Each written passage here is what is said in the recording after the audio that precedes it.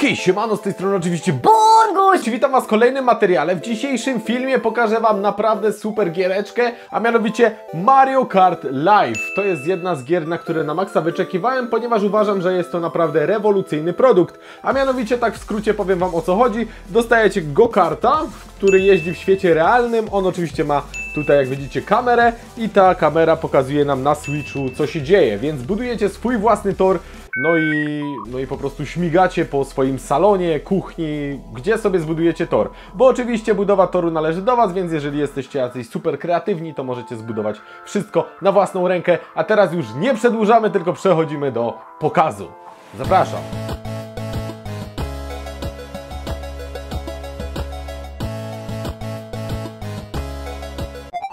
Całą grę odpaliłem już dwa razy na Twitchu, ale postanowiłem Wam nagrać tutaj taki skompensowany materiał, ale jeżeli chcecie zobaczyć pełnię możliwości, czyli tak naprawdę cały unboxing od a do Z e, i materiał, który trwa około dwóch godzin, to na Twitchu przez dwa tygodnie prawdopodobnie będzie dostępny. Potem archiwum jest kasowane, jak wiecie, albo nie wiecie. To na Twitchu tak się dzieje, że kasują archiwum po dwóch tygodniach. Ja kupiłem sobie zestaw z jego kartem Mariana, który jak widzicie wygląda tak i jest naprawdę super, dodatkowo jest spory.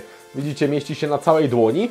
E, można również kupić sobie zestaw z Luigim i wtedy macie no, go-kart oczywiście zielony, no i macie literkę L. Z tego co wiem, chyba o kilka złotych jest tańszy zestaw z Luigim, ale nie wiem z czego to wynika.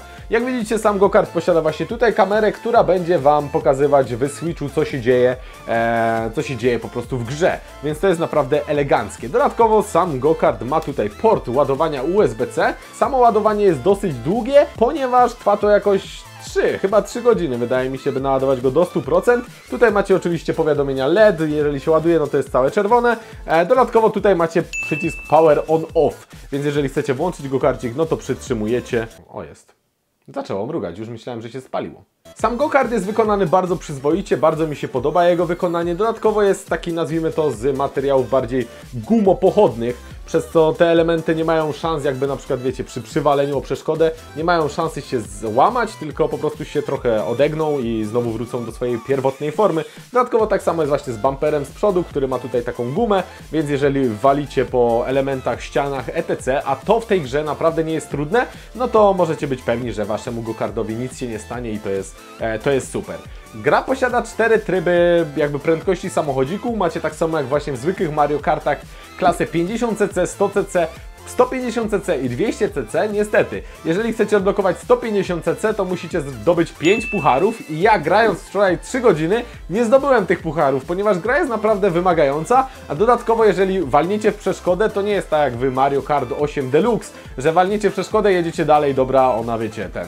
Tu jeżeli walniecie w coś, co sobie ułożyliście, no to nagle to znajduje się potem na torze i okazuje się, że tor nie jest do przejechania. Tor nie jest do przejechania.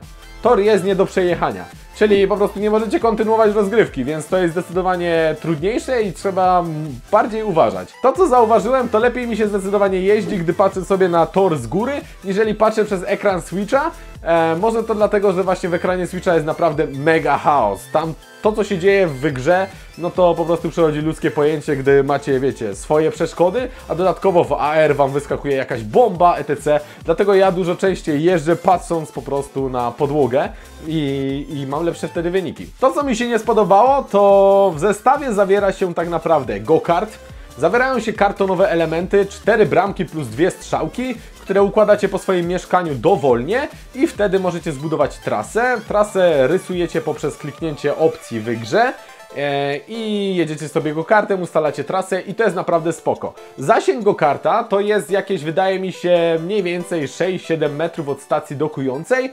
Dalej nie pojedzie. Jednakże to, co muszę przetestować i to, czego nie przetestowałem przed nagraniem materiału, to czy jeżeli ja będę chodził z Switchem, z samą konsolą, czy zasięg go karda będzie taki super właśnie, gdy będę chodził za nim z konsolą. I wydaje mi się, że tak, ponieważ stacja dokująca nie posiada tutaj żadnego usprawnienia, jeżeli chodzi o kwestię łączności Switcha, więc przetestujemy sobie na tym materiale i będzie po prostu rozwiązany ten temat.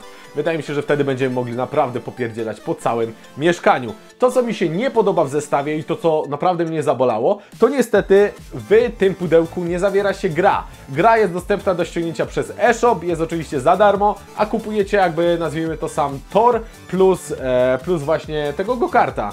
no to jest takie trochę słabe rozwiązanie jak dla mnie, bo ja, jak wiecie, lubię kolekcjonować gry i chciałbym mieć to na półce. No niestety nie tym razem, rozumiem jakieś pewnie ekologiczne może powody, albo przynajmniej takie będzie wytłumaczenie. Co prawda na przykład w takim Nintendo Labo, gdzie mieliśmy też tonę kartonów i nie dało się grać w to bez kartonów, pudełko było i jest w czarnym kolorze. To jest na przykład fajne, bo ludzie się pytali mnie, dlaczego niektóre gry na Switcha są w czarnym kolorze, to właśnie jest Nintendo Labo. Więc myślę, że już teraz nie przedłużamy sobie i przetestujemy sobie mój tor, a dodatkowo no, przetestujemy jak wygląda gra, jak działa łączność, no i czy właśnie jeżeli pójdę za, e, ze Switchem za, e, za właśnie go-kartem, to czy to zadziała. No i Lubina, jesteśmy już w świecie gry, jak widzicie tak ona właśnie wygląda, jest bardzo prosta i możemy sobie kliknąć single player i tu tak naprawdę od razu nas, e, no nic nas nie trzyma. Jak możecie zobaczyć na tej kamerze, e, tak właśnie wygląda nas, nasz tor. Cały tor jest zbudowany z takich bramek i je dostajecie całe cztery. Raz, dwa, trzy i cztery. Dostajecie też dwie takie strzałki, by pokazać tak naprawdę, jedna jest tutaj, by pokazać tak naprawdę, e, gdzie powinniście jechać. Jak widzicie, tutaj mamy jedynkę. Ja trochę swój tor urozmaiciłem różnego rodzaju pudełkami. Teraz widzicie go karta na tamtej właśnie kamerze, ale widzicie też mnie w grze. Mianowicie tutaj za jedynką sobie siedzę i widzicie też aparat właśnie jak, jak jest ukierunkowany. Więc e, możemy sobie tutaj, a zresztą aparat widzicie też na tej kamerze, więc e, dokładnie. Więc e, klikamy sobie tutaj Setup Race i możecie zrobić coś takiego, pokażę wam jak rysować trasę, jeżeli ją chcecie zmienić. No bo oczywiście macie cztery bramki, ale możecie tak naprawdę wszystko, e, wszystko ustawić, e, by to wyglądało na przykład, nie wiem, byście zrobili jaki, jakiś tam koksiarski zakręt gdzieś. Co prawda, no ja nie mam jakiegoś, jakiejś dużej powierzchni tutaj w moim game roomie, e, gaming roomie czy game roomie, dlatego też e, no pojedziemy sobie jakąś prostą trasę, mianowicie 1, 2, tu skręcimy sobie, zrobimy trójkę i tutaj zrobimy czwórkę czyli taki większy okrąg, nazwijmy to, nie? Jak możecie zobaczyć zresztą w prawym górnym rogu, no właśnie teraz na, na środku ekranu, że gra nam pokazuje, że jest zrobiona trasa, więc tak sobie to wygląda. Jak widzicie, możemy tak naprawdę zrobić Explore Mode i zobaczyć sobie, że dodało pieniążki, tutaj dodało jakąś supermoc, e, tutaj, o, macie magnes. Magnes jest dosyć wkurzającą przeszkodą, mianowicie e, magnes powoduje to, że nasz go-kart jest przyciągany. No ale jak widzicie, jeździmy po moim pokoju, który jest, no, tak powiedziałem, o, no i właśnie, no i tu jest ta sytuacja, o której mówię, że jeżeli rozwalicie jakąś przeszkodę, no tu na przykład figurka z Battlefielda jest, ale jak rozwalicie jakąś przeszkodę, to ona na przykład wpadnie wam na tor i nie możecie dokończyć wyścigu, no co jest oczywiste, ale to jest coś, co nie występowało w tamtej Mario Karcie, nie? No oczywiście macie nitro, co pewnie zobaczycie na tej kamerze, że faktycznie przyspiesza wtedy kart zdecydowanie bardziej. O, możemy to użyć. No właśnie, no i znowu walimy tutaj. Widzicie, dosyć ciasno tutaj jest. Więc wydaje mi się, że jeżeli macie mniejszy pokój niżeli ten, no to chyba nie będziecie mogli kupić tej gry. Ale tak naprawdę wasza kreatywność jest tutaj nieograniczona w budowaniu toru. Jak widzicie mamy Xbox One X, który jak siedzi sobie w cyberpunkowej wersji, a tutaj mamy na przykład moje 3 2DS-y, które też sobie siedzą i robią taką mini ścianę. Tu jest figurka Wolfensteina, a za nią jestem oczywiście ja. No i tak możemy sobie taki zrobić room tour dosyć kreatywny, jak to wygląda. Tu jest akurat figurka Alice, The Last of Us 2, jak widzicie siedzi, e, robi takie mini rondo. Tutaj mam na przykład gry na Switcha, których na przykład nie widzieliście, na przykład Flashback jest fajny, Animal Crossing na samej górze, Night Monkeys of Shadow, nie, Shaolin jest trzecie, tej gry też nie widzieliście, ale ją mam. Tutaj Pegasusik, czyli oryginalny NES. No i tutaj też strzałki, które rozwaliłem. No i dobra, myślę, że możemy sobie tak naprawdę zrobić pierwszy wyścig, byście, e, byście zobaczyli, jak to, jak to po prostu wygląda z postaciami. Możemy, tak jak powiedziałem, wybrać prędkość. Ja wybiorę 50cc. Jak widzicie, jeżeli zrobicie sobie 5 trofeów, to będzie jeździć szybciej. Jeżeli weźmiecie sobie, e, wygracie 10 trofeów, będziecie jeździć jeszcze szybciej. Niestety mój gokart się rozładował e, poprzednio i nie dokończyliśmy wyścigu numer 4. Okej, okay, dobra, myślę, że przejdziemy sobie trasę. Ja będę patrzył tutaj, bo zdecydowanie mi będzie prościej, tak jak powiedziałem wam, jechać, e, jechać to na tym, bo tutaj niestety, znaczy niestety, jest takie coś jak e, różnica, znaczy różnica. Wydaje wam się, że przedmiot jest trochę dalej, a on już jest tak naprawdę blisko.